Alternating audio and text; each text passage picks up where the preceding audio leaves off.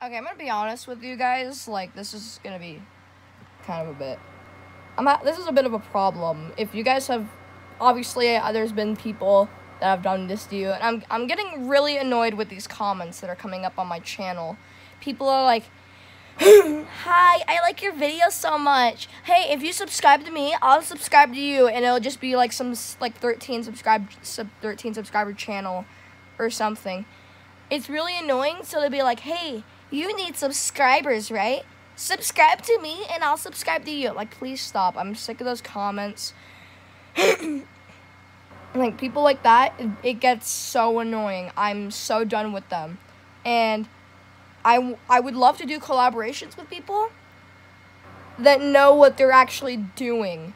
Okay, like this is a message to those people because I'm getting real sick and tired of those questions.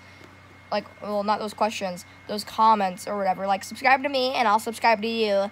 And we'll make great videos together and we're gonna blow up and be like the next people that are gonna be on Dancing with the Stars. Like, oh, oh my god, I swear to God.